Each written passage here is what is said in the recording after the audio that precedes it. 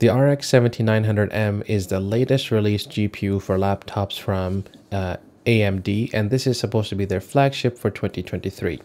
This GPU promises, particularly in this model here, featuring the Alienware M18R1, a capability of being able to hit 200 watts on the GPU alone. Now, there is, of course, lots of different factors that come into play here, but as we can see from Borderlands 3, uh, an older title, but I keep that still in my suite of, of testing and benchmarking because it really does push those GPUs hard.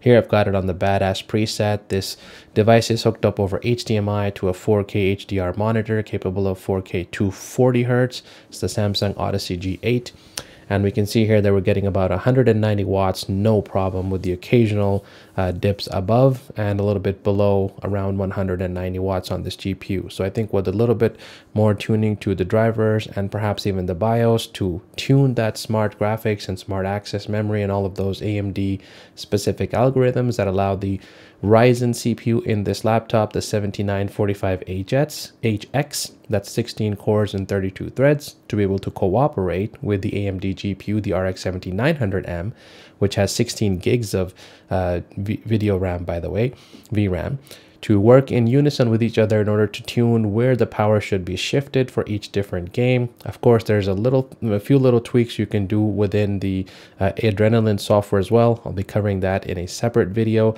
There's a lot to cover there, in particular with the new, re newly released HYPR-RX feature, which was promised in CES this year. There's a lot to talk about there, so we'll be covering that in a different feature. However, we can see here the thermals are well in check and the CPU uh, temperatures are also well in check. The fans are loud, but we'll be doing some thermal testing uh, separately. I don't believe there will be too much difference from the Intel variants, but in any case. So now let's let's take a look here at Cyberpunk 2077. In this benchmark run, we're running in the ultra mode, so no ray tracing yet and look at that uh, you know figure on the GPU GPU total. We're getting about 170 to 180 watts consistently. Occasional dips below 170 watts but of course that depends on what's happening on the screen here. And if you look at that GPU 60 degrees so it's one cool customer.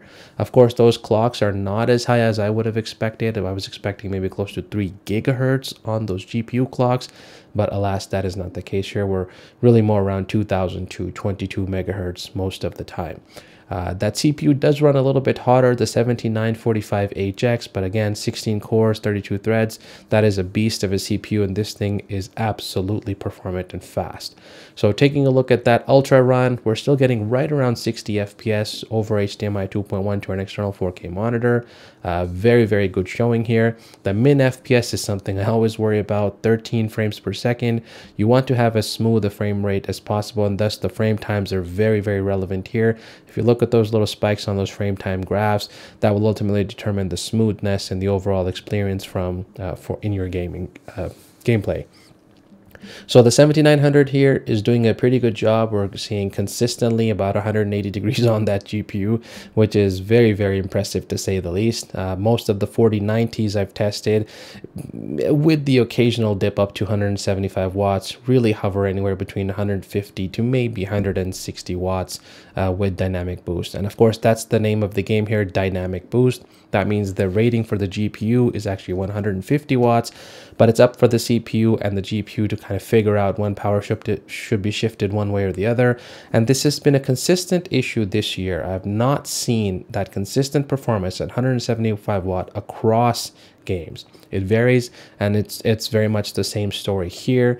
I don't know if it's driver tuning or if it's game specific profiles that need to be built into the drivers to know that hey if you know Cyberpunk for example is a GPU heavy game that we should be pushing lesser wattage to the CPU. We want that graphical fidelity so let's give that extra juice over to the GPU. Again, the same story there with the low frame rates. That was the RC uh, uh, or the Ray Tracing Ultra benchmark and now here we are finally in the overdrive the ray, tracing overdrive preset. So this enables all of the path tracing and all of the latest technology previews that are built into this game and you can see here it's a stutterfest so the takeaway from this benchmark is if you're buying the rx 7900m and hope to be able to play games with ray tracing turned on this is not the GPU for you.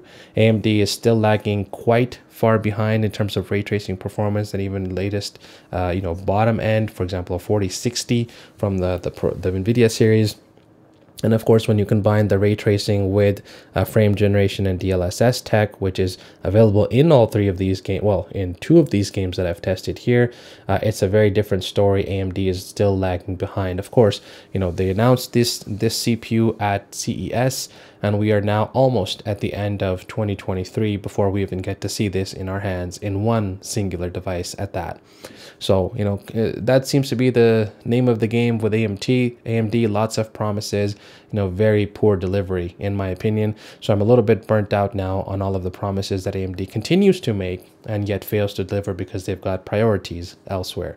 They're still trying to keep the, the mindset from the gamers, you know, okay, I understand that, but we need to see some more money where your mouth is action. So look at that, 6 FPS on the minimum. I think that's the very annoying part here. We need to have stable game rate, uh, gameplay here. To get that, we need as, as stable frame rates as possible and stable frame times as possible. If you look here though, this is another older game, uh, Red Dead Redemption 2, but this one, there's so many different settings. You could pretty much exhaust any GPU here. We are set at the highest favor quality settings, running in Vulkan mode and uh, we can see here we're hitting consistently 180 188 190 watts on occasion uh, with about 58 to 60 plus ish fps depending on the scene that you're in so very good showing here for raster performance. If you just don't care about ray tracing or any of these bells and whistles and you just want to be able to crank your game, or if you want to buy this as a true desktop replacement to say that you want to be able to game anywhere, you know, just take this with you, or sorry, not anywhere. If, if you want to be able to, you know, game on an external 4K monitor, and this is definitely a beastly GPU that can handle that and can deliver. Of course, everything is cranked here. If you tune the settings a little bit, I'm sure you can get much higher performance even out of this GPU.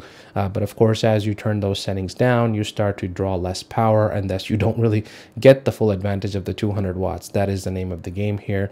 Unfortunately, there isn't really a way around that. So I think the summary for the RX 7900M here is it's a good showing right out of the bat. There is still some fine tuning definitely to be done, both from the AMD side in terms of the drivers and the hardware uh, technologies that are built into the CPU and the GPU to work together. And of course, perhaps even from Dell, a few BIOS updates to help deliver on that and to you know offer the performance uh, uh, by tuning on the hardware side of things, the power delivery, the uh, and whatnot. So overall it, it is promising. I do like what i'm seeing but if you're looking at it for just laptop use unfortunately i landed here with the 1080p display which really sucks. They didn't have the uh, quad hd plus display or the quad hd display on offer. When i ordered this laptop i wanted to be one of the first to get it. So alas i kind of uh, lost out on that one. But dell's website is a whole nother story and a whole nother complaint for another day. Nonetheless here we're getting very good performance from rdr2 and we can see here that the 7900M, what I do love about this thing, it runs so cool. I mean, it's just 60 degrees is nothing. And we've got this thing loaded up at 190 watts. Uh, that CPU could use a little bit tuning, but I think you know both on Intel and AMD side this year they've all decided to push as much power into those CPUs to show generation over generation performance leaps. And uh, if Intel was going to do that, AMD wasn't going to be one to sit behind and say, "Hey, look, we're more efficient." So they've decided to push that uh, power as well. And As a result, we're seeing these very very hot CPUs this year that con consistently run around 100 100 degrees Celsius uh, but that said here, very good performance from Red Dead Redemption 2 on the 7900M at 4K over HDMI 2.1 to an external 4K 240Hz monitor. And it's hard to show here, but it runs beautifully. There is no lag whatsoever or any screen tearing. And look at that frame time, as smooth as butter. It's as flat as a board. And that's exactly what we want to see. That means there is no spikes happening on the CPU. You're not going to have any micro stutters or any other issues. So this game is a beautiful candidate uh, to be played on this particular laptop combined with this particular GPU.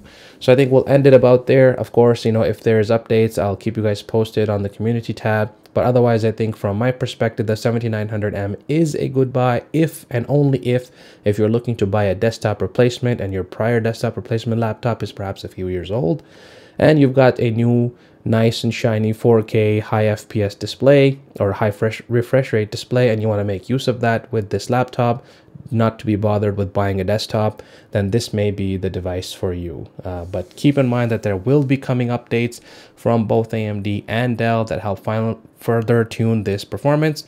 So it's going to be your draw of the luck here if you want to go with the 4090 or if you want to buy into this AMD ecosystem and wait.